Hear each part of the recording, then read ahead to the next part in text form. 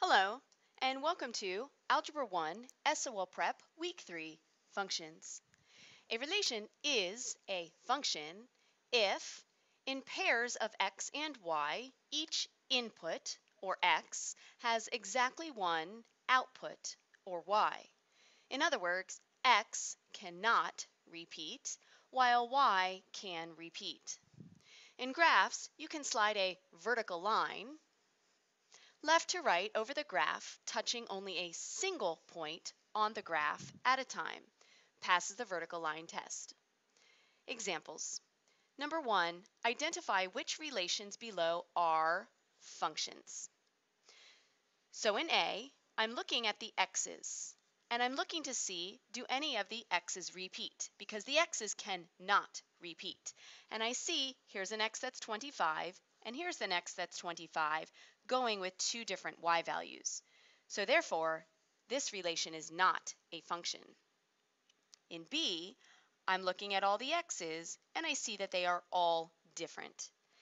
This is a function. Again, but in a table, I'm looking at the x's. I notice that here the x is 14, and again the x is 14, going with two different y values. Therefore, this is not a function. In D, I'm looking at a graph. So I'm thinking about the vertical line test. Is there anywhere I can draw a vertical line that touches more than one point? And the answer is no. Anywhere I pass a vertical line, only one point is crossed. Anywhere I put this vertical line in the graph, it only touches one point. So passing the vertical line test makes this relation a function. But in E, notice when I take the vertical line, here it only touches a point, here it only touches a point, here it only touches one point, but here it touches two points.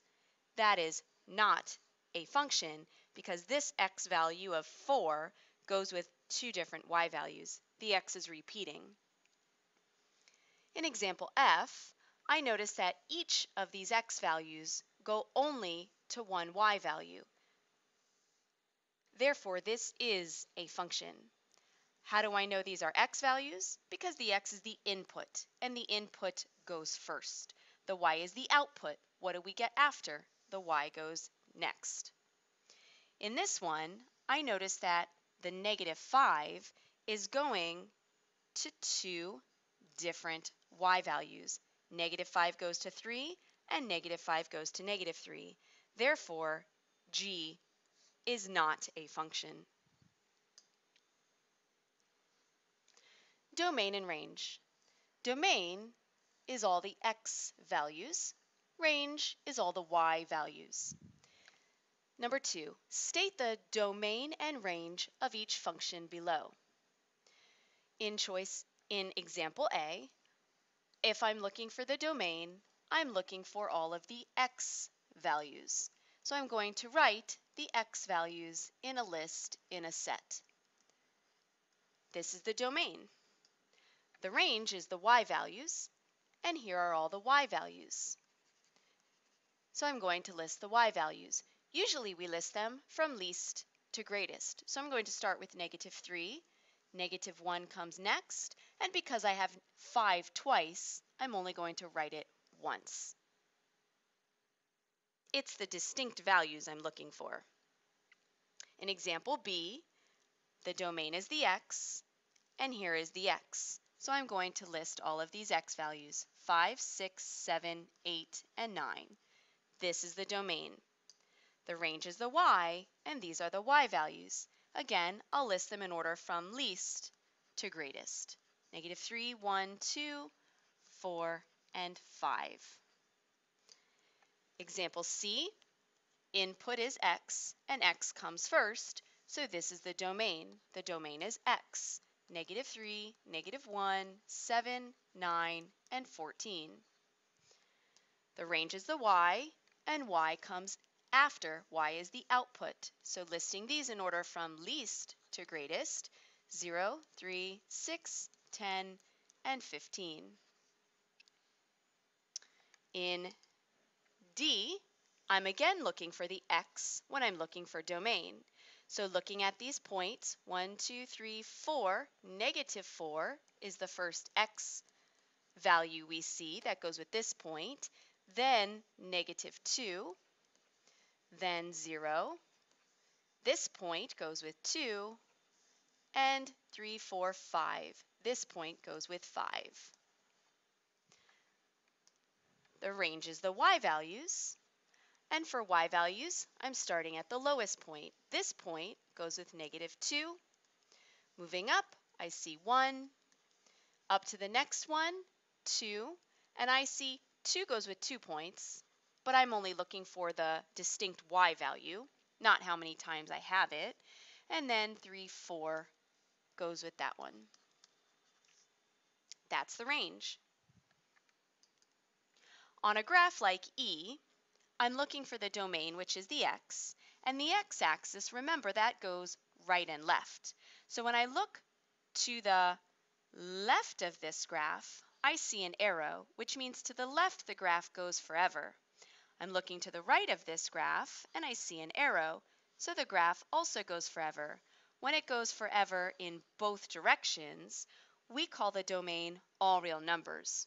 This is the fancy way that you'll tend to see it the set of x values such that x is an element of the all real numbers, this fancy bold R for all real numbers.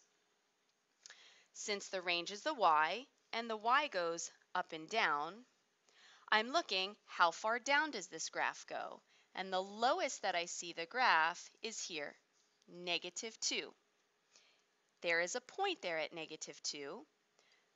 And then I look going up, and again, I see arrows at the top of the graph, so the graph just keeps going up. So I say the range, the y values, are the set of y such that y are greater than or equal to negative 2.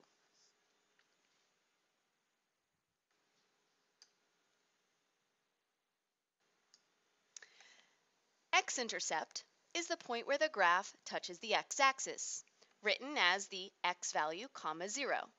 X-intercepts also mean zeros, roots, and solutions.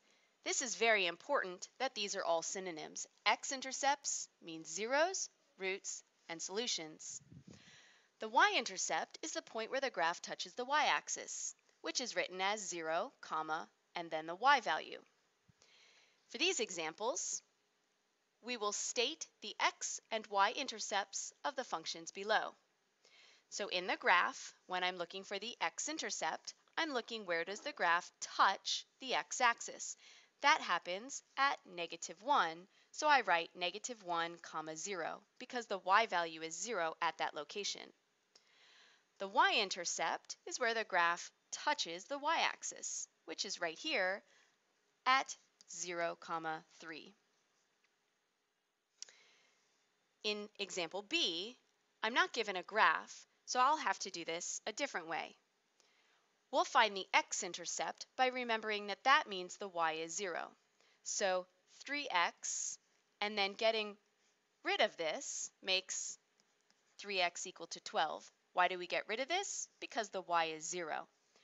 Divide both sides by 3, and x equals 4. So the x-intercept is 4, comma 0.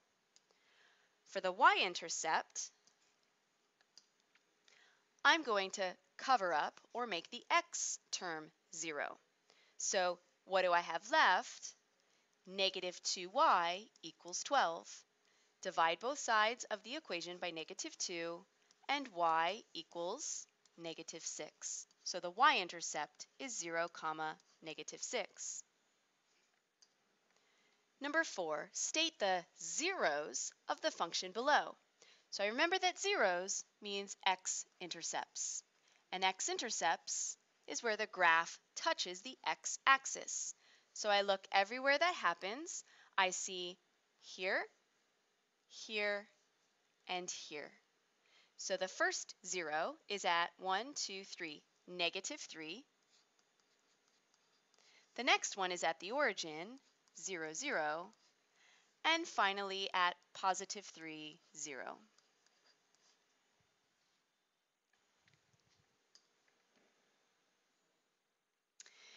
Evaluate functions at a point or identifying if a point is a member of a function.